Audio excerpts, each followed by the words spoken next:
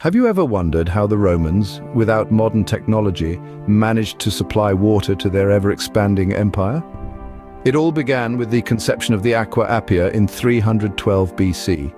Imagine the sheer ingenuity needed to craft such an impressive system in that period. The Romans harnessed their engineering prowess, constructing an infrastructure that would quench the thirst of their burgeoning empire.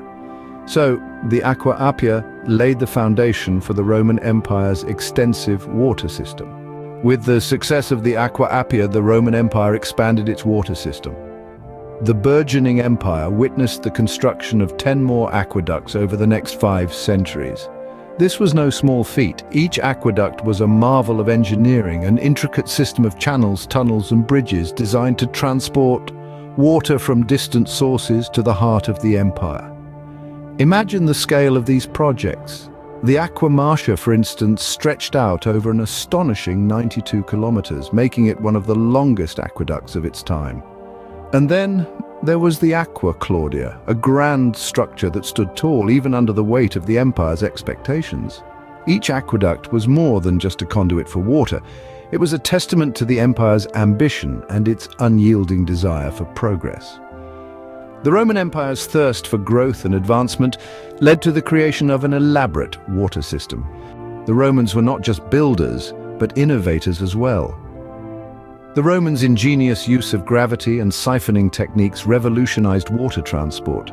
They harnessed the power of gravity to move water over vast expanses, even uphill, by creating a steady, gentle gradient.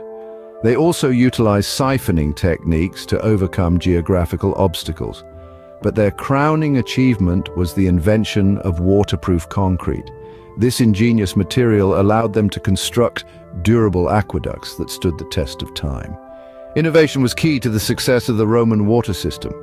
The Romans did not stop at bringing water to the city, they ensured it reached every corner.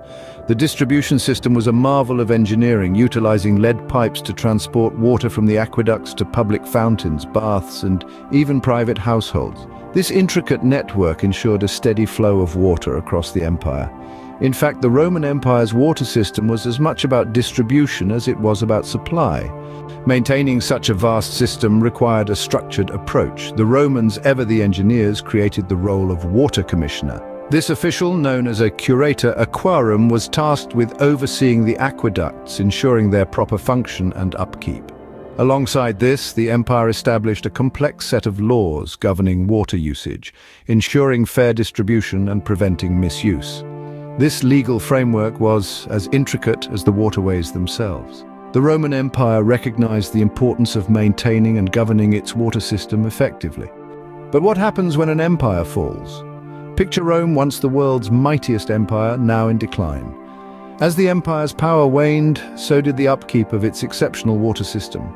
Without the necessary resources and manpower, aqueducts fell into disrepair, often succumbing to neglect and vandalism.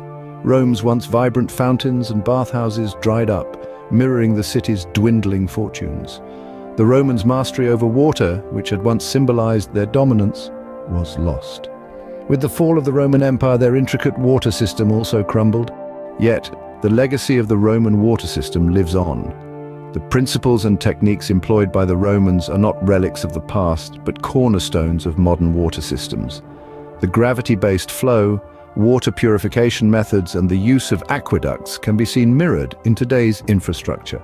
Their meticulous planning and governance set a standard for public utilities that we still aspire to. Indeed, the Roman Empire's water system is not just history. It's a blueprint. The Roman Empire's water system continues to inspire modern engineering. So, from its birth to its legacy, the Roman Empire's water system was a marvel of its time. This intricate system, from its inception during the expansion era to the innovative techniques, showcased Rome's engineering prowess. Their meticulous distribution and maintenance methods, even in the face of the empire's fall, laid the groundwork for modern water systems. If you enjoyed this journey through the Roman Empire's water system, Please share, like and subscribe to our channel for more captivating historical tales.